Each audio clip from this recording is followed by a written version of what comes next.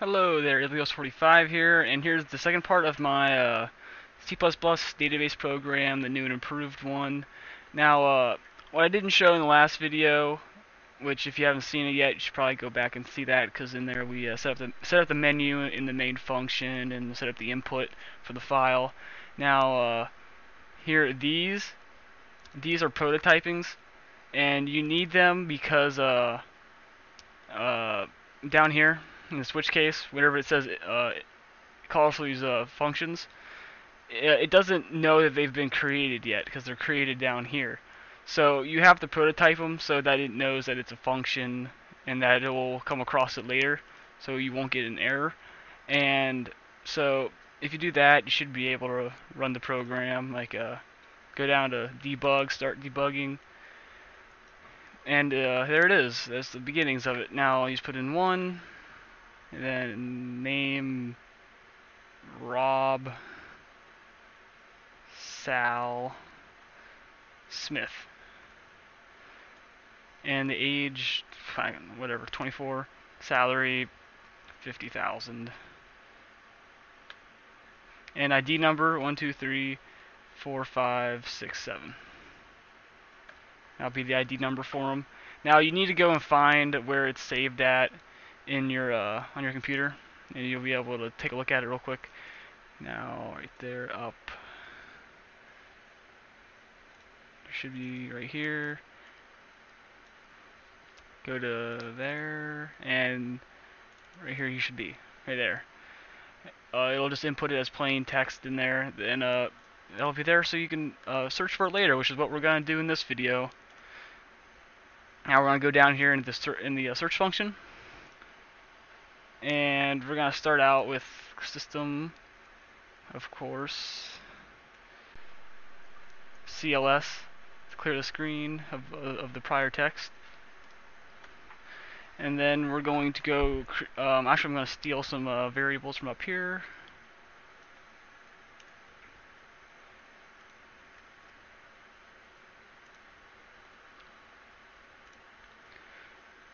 Okay, now you're going to have to create one more integer integer. I know I always put throw on this one because it's just a throwaway integer, something just holds hold space for right now, which I'll show here in a second. Now, uh, out.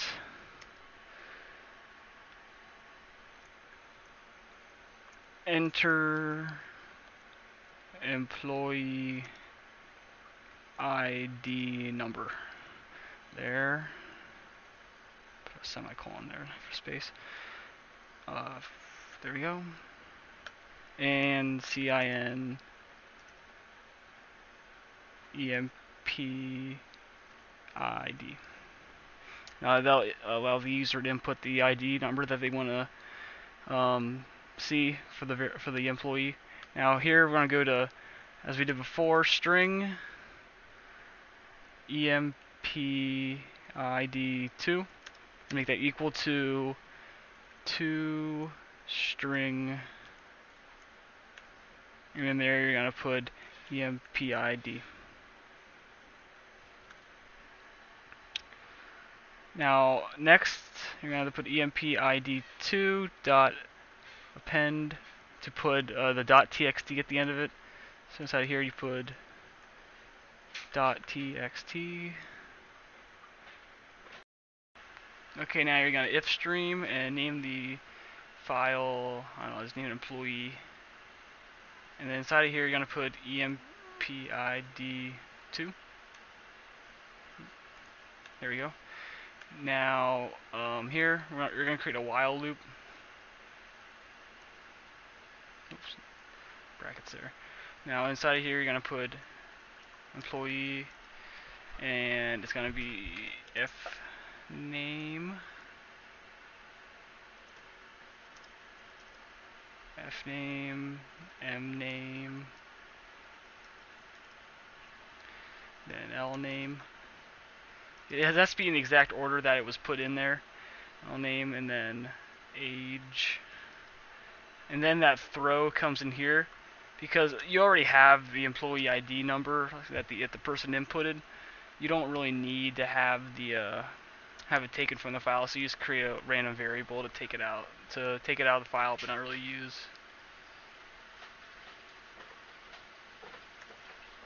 Okay. Alright, so now I'm going to be doing a, uh, just get a little bit complicated here, so just try and follow along. Okay, so after this while statement, you're going to uh, create some integers. Uh, first one's going to be int m name length. Then the uh, you're gonna set that equal to m name dot size. Oops, parentheses there. Then uh, next, we're gonna create. Well, here, I'll just go and copy this. Hold on.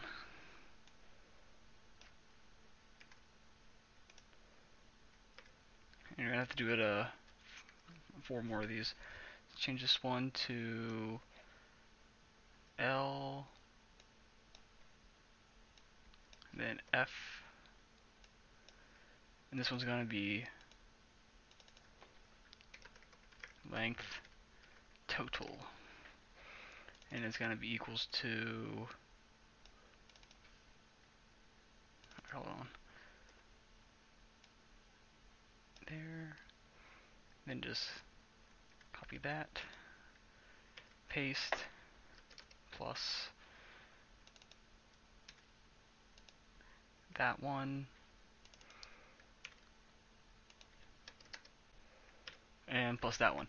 Now what that'll do is basically it'll find the uh, size of the names, like it'll find the length of the first, middle, and last name, and then it'll uh, uh, put those all into length total. I'll go ahead and just capitalize that. And uh, what that'll do is it'll return the total length of the full name. So whenever I do some formatting down below, it'll be able to um, be able to calculate how long the name is, and you can format a little better using that. Right, so next, I'm to go to create a string and call it a answer. Okay, then cout is this the correct employee? Yeah, and then uh, give them two choices, like y slash n. Alright, then end the line there. Then cout f name, then a space, then uh, m name,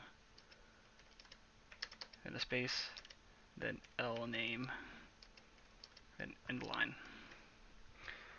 So what that'll do is it'll uh, put out the uh, the name of the person that it found up up above, and then uh, it'll ask the user if that's the correct person before it displays their information. Then ask the user to input the answer. and you're gonna have to do an if statement here. And in parentheses, you're gonna put answer equals equals y. So if the answer that was inputted is equal to y, then you're going to display the rest of the information. So uh, clear the screen.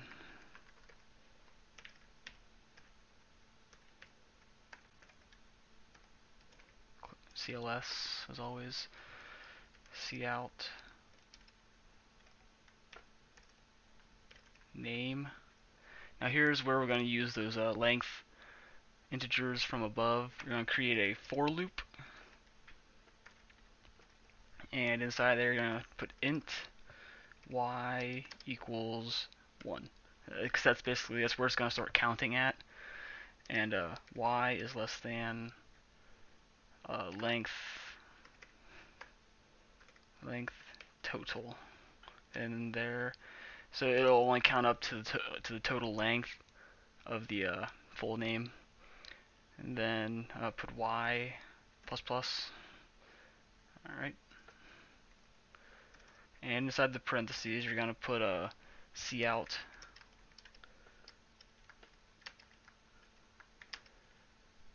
Right, like that. And what that'll do is it'll put a space after name so that uh, um, before you before the next text is put on for the labeling, it will uh, it won't cover up anything else. It'll just cover the name. All right, so that's it for that statement. Now you're gonna create a uh, another uh, for loop, or the first before you that, cout of, course the next set of text, and put age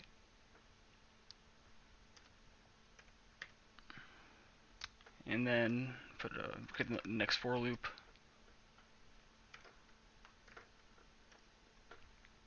And put int z or just lowercase z, z is equal to 1 semicolon z is less than uh, just use like a 2 it'll just put two spaces for the age that's all, all that should be needed. And then colon z plus plus and inside here just put as, as same as before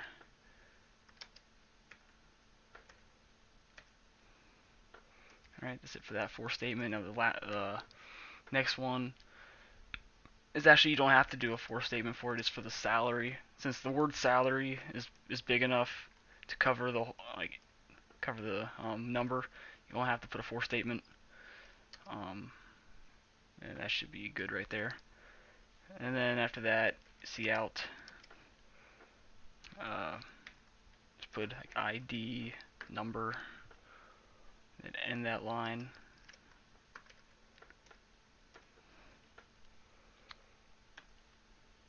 For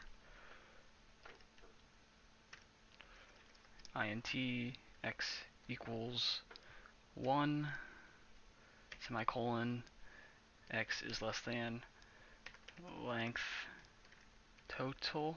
And this is going to create like a like a border, like a line between the text and uh, the data total. And then you're going to add um, add 20 to that because it'll uh, there's 20 the length total is just the length of the name and then you just add 20 more dashes after that to cover the rest of the data. Colon x x plus plus. And in the curly brackets just put cout dash.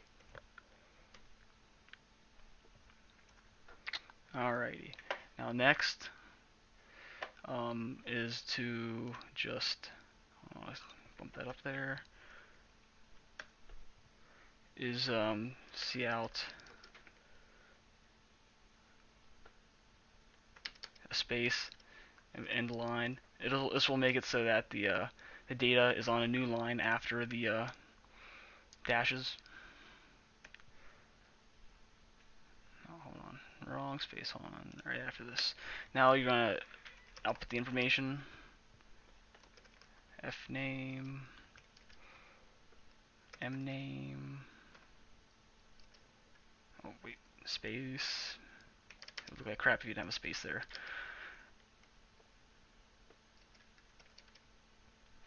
I always misspell that, come on. There we go. Then L name space then age.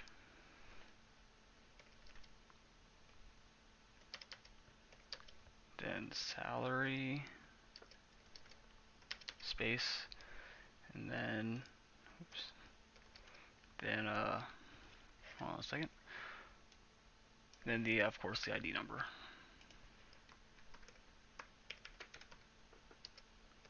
And end that line. Alright, now that should... Alright, I'll need to put a...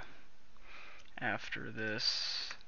System...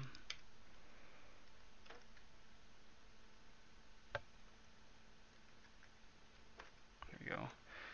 System... Pause... And after that, put main, so after it's done it'll take you back to the main menu Okay, now that looks okay. I'll debug that and see what we got here. Okay, let's search. Seven. Is this the correct employee? Yes. There we go. Rob Sal Smith, age 24, salary of $50,000.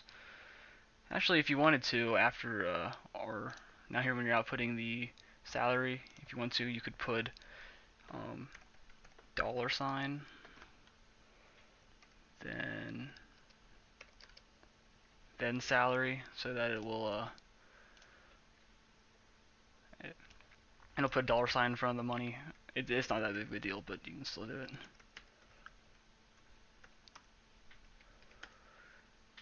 Like that.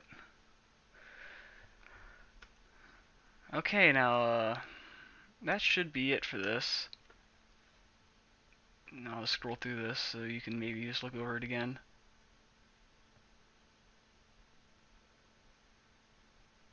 I always make sure the order right here is correct, or else it'll you'll get some funky salaries or um, ages. Alright, that'll be it for the search function. Now next I will be doing the uh, edit function, and then after that in another video I'll make a display all function. Alright, well uh, thanks for watching, make sure you like, subscribe, and uh, check out the next videos, and if, if you haven't, check out the ones before.